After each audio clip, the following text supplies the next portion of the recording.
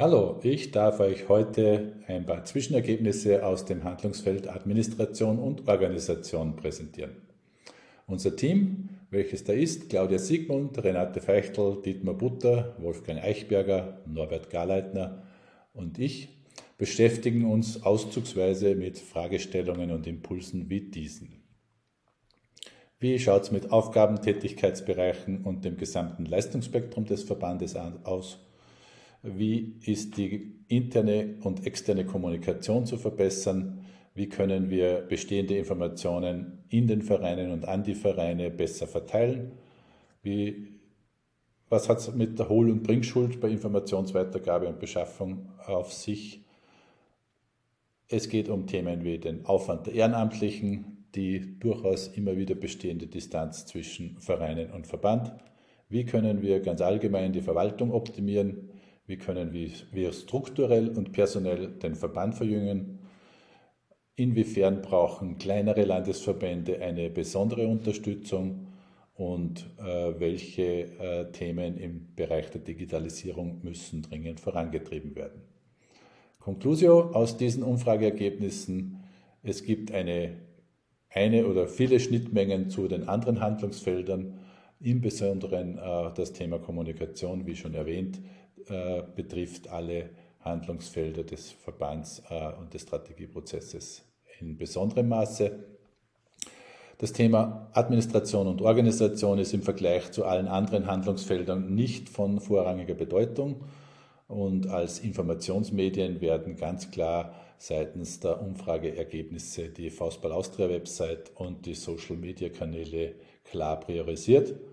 Und in Summe gibt es mit der Verbandsadministration und Organisation eine durchschnittliche Zufriedenheit der Teilnehmer der Umfrage. Interessantes Detail, äh, die Förderstelle des äh, Verbandes, die Bundessport GmbH, hat in ihrer Bewertung unseres Verbandskonzepts für die neue Förderperiode von 2023 bis 2026 die Qualität der Verbandsstruktur und Verbandsarbeit mit einem sehr, sehr gut sozusagen äh, bewertet. Äh, beinahe das Punktemaximum wurde hier vergeben.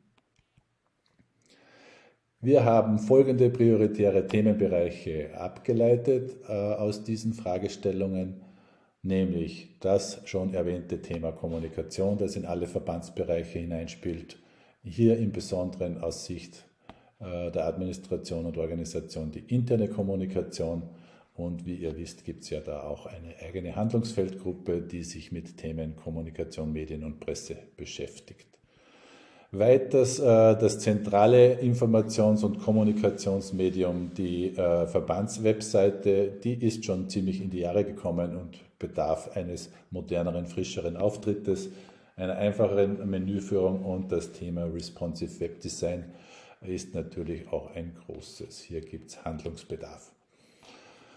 Bezüglich der Verbandsstruktur und der Zuständigkeiten wollen wir Prozessabläufe priorisieren und definieren und äh, die Verbandsstruktur, die Zuständigkeiten, Verantwortlichkeiten einfacher und verständlicher darstellen unseren Vereinen und Faustballerinnen und Faustballern gegenüber.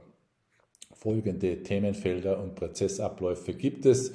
Äh, das ist nur ein Auszug daraus aus der Sicht des Vereines gesehen, ohne Priorisierung von Meisterschaften über Nationalteams, äh, von Datenbank über Leistungszentrum, äh, von Aus- und Fortbildung über Schiedsrichter und natürlich auch Themen wie Anti-Doping und vieles mehr. Nächste Schritte. Wir wollen diese Prozessabläufe priorisieren und definieren, im Besonderen im ersten Schritt äh, aus der Sicht des Vereins, also extern gesehen und natürlich dann in weiterer Folge auch die verbandsinternen Prozessabläufe. Das ist sicherlich ein längerer Prozess und ein sogenanntes offenes Dokument, das immer wieder adaptiert und aktualisiert werden wird müssen. Und dann gibt es äh, am 9. und 10. Juni in Salzburg die Verbandsklausur, wo all diese Themen und Handlungsfelder weiter bearbeitet werden. Das war es auch schon wieder. Wenn ihr Fragen, Kommentare oder Anmerkungen habt, bitte jederzeit gerne. Wir freuen uns, hinterlasst uns eure Fragen im Kommentarfeld oder auf allen Kanälen von Faustball Austria, damit wir gemeinsam und gestärkt die Zukunft gestalten können.